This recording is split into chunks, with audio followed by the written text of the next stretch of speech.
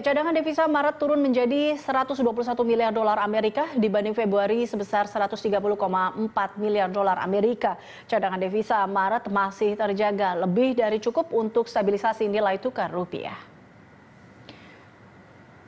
Bank Indonesia mencatat posisi cadangan devisa Maret setara pembiayaan 7,2 bulan impor atau 7 bulan impor dan pembayaran utang luar negeri pemerintah serta berada di atas standar kecukupan internasional sekitar tiga bulan impor. Penurunan cadangan devisa Maret akibat pembayaran utang luar negeri pemerintah dan keperluan stabilisasi nilai tukar rupiah. Dampak kepanikan pasar keuangan global akibat corona. Dengan berbagai langkah stabilisasi dan penguatan bauran kebijakan, Bank Indonesia optimistis rupiah akan semakin stabil cenderung menguat ke level 15.000 rupiah per dolar Amerika Serikat.